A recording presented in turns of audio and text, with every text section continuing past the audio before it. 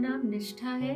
मैं पानीपत, हरियाणा से आई हूँ हमारा हाइड्रोथेरेपी का सेशन हुआ, जहाँ पे मुझे बहुत ही ज़्यादा नर्वस थी कि कैसे पानी में डालेंगे, क्योंकि मैं स्विमिंग पूल में बहुत सालों से नहीं गई थी। मुझे पता था मेरा बैलेंस नहीं है।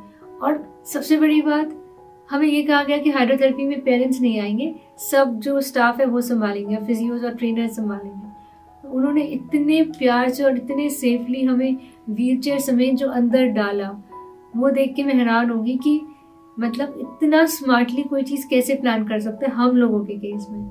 सारी एक्सरसाइजेस उसमें कराई गई और इतना रिलैक्सिंग इन्वायरमेंट था पूरा टेम्परेचर कंट्रोल था पूरा हीटेड वाटर था तो बहुत कंफर्टेबल रहा वो।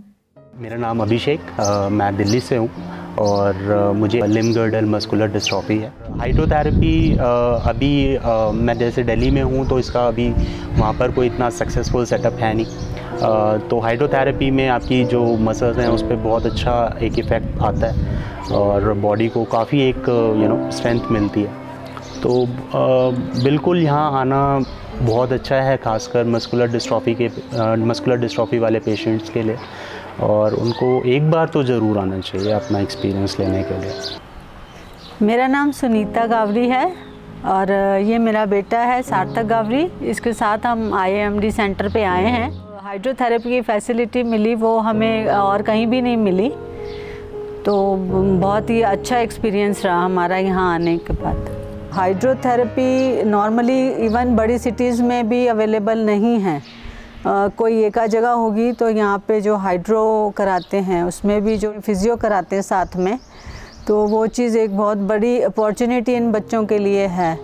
क्योंकि नॉर्मली स्विमिंग पूल में इनको हम नहीं डाल सकते। हैं तो ये पूल में पूरे सेफ्टी से और हर चीज़ का जो है वो ध्यान रखा जाता है मैं मनप्रीत ਸਿੰਘ ਜੀ ਬਠਿੰਡਾ ਸ਼ਹਿਰ ਤੋਂ ਪੰਜਾਬ ਤੋਂ ਆਇਆ ਜੀ ਮੇਰਾ ਬੇਟਾ ਜਸਮਨਪ੍ਰੀਤ ਸਿੰਘ ਜੀ ਇੱਥੇ ਇੱਕ ਇਹਨਾਂ ਦਾ ਹਾਈਡਰੋ ਪੁਆਇੰਟ ਕਰਕੇ ਕੁਝ ਇਹਨਾਂ ਦਾ ਸਵੀਮਿੰਗ ਪੂਲ ਦੇ ਵਿੱਚ ਗਰਮ ਪਾਣੀ ਦੇ ਵਿੱਚ ਬੱਚੇ ਨੂੰ ਜਿਹੜੇ ਐਮਡੀ ਨੇ ਜਿਨ੍ਹਾਂ ਦੇ ਲੱਤਾਂ ਬਾਹਾਂ ਕੰਮ ਨਹੀਂ ਕਰਦੀਆਂ ਉਹ ਸਵੀਮਿੰਗ ਪੂਲ ਦੇ ਵਿੱਚ ਐਕਸਰਸਾਈਜ਼ ਕਰਾਉਂਦੇ ਨੇ ਐਵਰੇਜ ਕੋਈ 2 ਤੋਂ 2.5 ਘੰਟੇ ਵੀ ਬੱਚੇ ਦੇ ਕਿਸੇ ਹਿਸਾਬ ਨਾਲ ਪੇਸ਼ੈਂਟ ਦੇ ਕਿਸੇ ਹਿਸਾਬ ਨਾਲ ਉਹ ਹੱਥ ਪੈਰ ਚੱਲ ਸਕਣ ਇਸ ਤੋਂ ਚੰਗਾ ਅਦਾਰਾ ਜਾਂ ਇਸ ਤੋਂ ਚੰਗੀ ਸੰਸਥਾ ਆਪਣੇ ਨੇੜੇ ਤੇੜੇ ਨਹੀਂ ਹੈ ਤੇ ਇਹਨੂੰ ਜ਼ਰੂਰ ਇੱਕ ਵਾਰੀ ਟਰਾਈ ਕੀਤਾ ਜਾਵੇ। ਇੱਕ ਵਾਰ ਜ਼ਰੂਰ ਤੁਸੀਂ ਆਓ, ਤੁਹਾਨੂੰ ਆਪੇ ਸਮਝ ਆ ਜਾਊਗੀ ਵੀ ਅਸੀਂ ਕੀ ਕਰਦੇ ਹਾਂ ਵੀ ਇਸ ਤੋਂ ਵਧੀਆ ਮੈਨੂੰ ਨਹੀਂ ਅੱਜ ਤੱਕ ਲੱਗਿਆ ਮੇਰੇ ਬੱਚੇ ਵਾਸਤੇ ਵੀ ਕਿਤੇ ਵੀ ਕੋਈ ਪਲੇਟਫਾਰਮ ਹੈ।